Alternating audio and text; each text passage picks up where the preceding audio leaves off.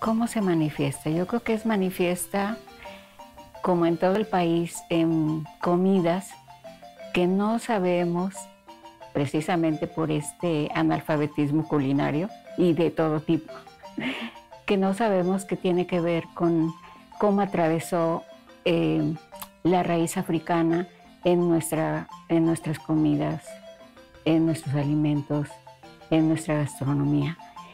Por ejemplo, estamos comiendo arroz con frijoles y no sabemos que estamos comiendo de alguna manera parecido a, a los afrodescendientes.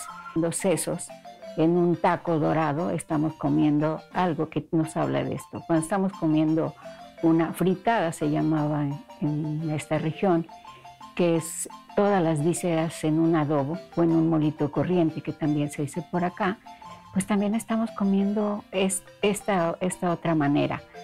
En esta presencia de estos hombres y mujeres esclavizados, donde no tenían muchos ingredientes para hacer sus comidas, entonces lo hacían con lo que tenían a la mano, con lo más elemental. Y de pronto encontramos estas mismas cocinas ahora con vino blanco, con jerez, y entonces, ¿qué pasó ahí, verdad?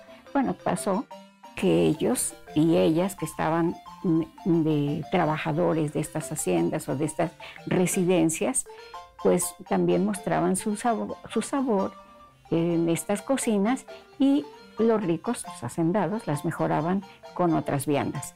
Pero finalmente el origen era esto, no era al revés, no era que vinieran estos menús europeos y entonces de pronto ellos los transformaban. Y quizás también lo hicieron de algo muy sofisticado, algo muy simple. ¿Cómo fue? No sabemos muy bien, pero sabemos que tiene esta presencia.